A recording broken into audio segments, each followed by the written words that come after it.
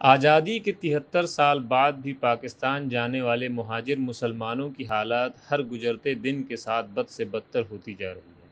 वहीं हिंद में अकलीत होने के बावजूद उन्हें हर तरह की आज़ादी, तरक्की और तहफ़ हासिल है।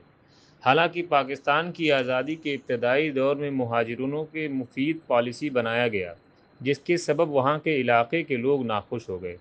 1970 तक हालात कुछ हद तक ठीक थे लेकिन जुल्फ़िकार अली भुट्टो जो ख़ुद एक सिंधी था ने कई मुखालिफ महाजरीन कानून बनाया, जिसमें सिंधी ज़बान कानून उन्नीस सौ बहत्तर में शामिल था, जिस, जिसमें सिंध की हुकूमती ज़बान उर्दू से सिंधी कर दिया गया और कई महाजरीन को जबरन नौकरी से फारग किया गया, जिसके नतीजे में ख़तरनाक दंगा हुआ, जो ज़बान पर मबनी अब तक का बदतरीन दंगा था।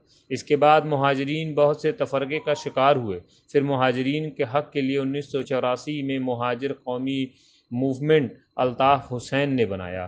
फिर उन्नीस सौ बानवे में फ़ौज ने उन पर काफ़ी तशद किया और कसरत से महाजरीन हलाक हुए।